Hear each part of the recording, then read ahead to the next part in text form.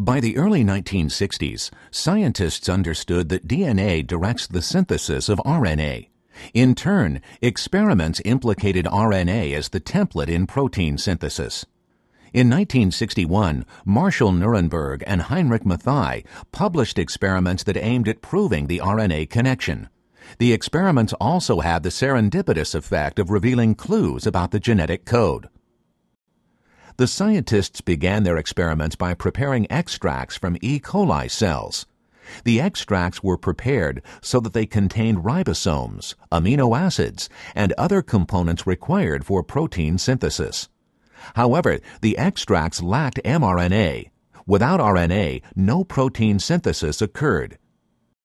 When the investigators added RNA to the tube, the extract produced protein.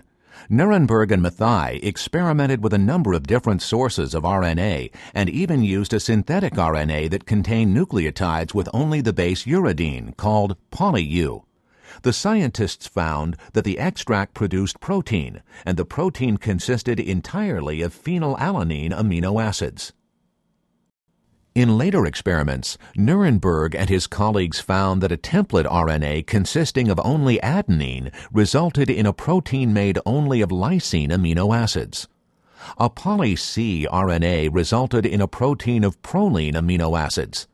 From these experiments, it was clear that RNA was required for protein synthesis, and that the sequence of the RNA dictated the amino acids in the protein. From their experiments, the scientists knew that poly-U RNA directed the incorporation of phenylalanine into a protein. However, they didn't know how many uracil containing nucleotides were required to create a code word, now known as a codon.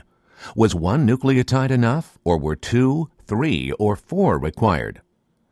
Proteins contain 20 different amino acids, while mRNA contains only four different nucleotides.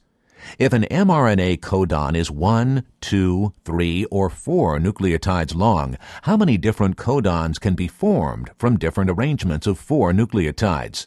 Would this be enough to code for 20 different amino acids? A codon length of 3 is sufficient to code for 20 amino acids, but a codon length of 2 is not. To determine a codon's length, Nirenberg and colleague Philip Leder devised a clever and quick assay. The assay involved ribosomes and tRNAs charged with radioactive phenylalanine. The scientists knew that aminoacyl tRNA molecules participated in protein synthesis and under certain conditions could be found attached to ribosomes. The assay also included poly-U RNA. In addition to the reaction mixture, the assay relied on the function of a membrane filter made of the chemical cellulose nitrate. This filter has special properties. If ribosomes are poured onto the filter, the ribosomes stick while the fluid goes through the filter. A washing step does not dislodge the ribosomes. Although the ribosomes stick to the filter, neither the tRNA molecules nor the poly-U RNA molecules stick. Each type of molecule can flow through the porous filter during a washing step.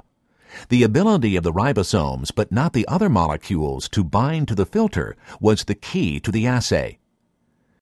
For their experiments, the investigators created mixtures that included ribosomes and tRNA molecules charged with radioactive phenylalanine.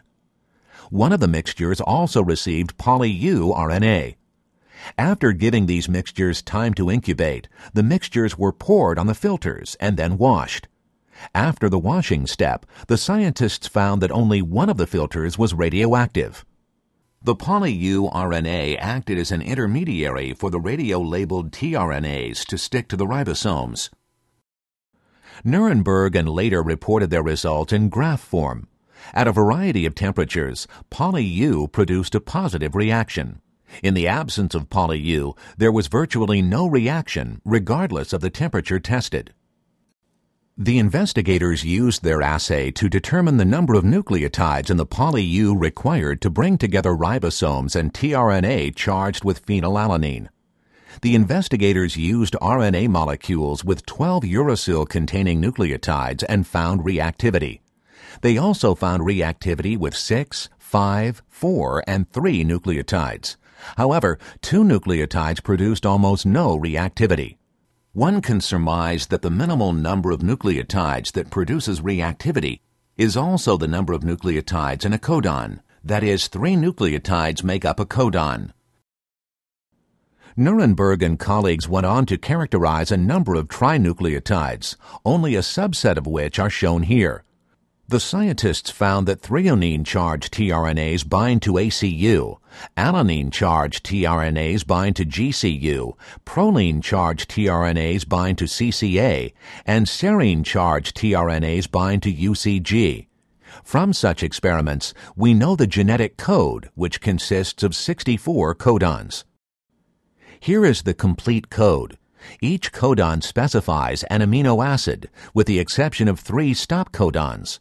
When a ribosome encounters a stop codon, no tRNA will bind to the codon, and protein synthesis terminates.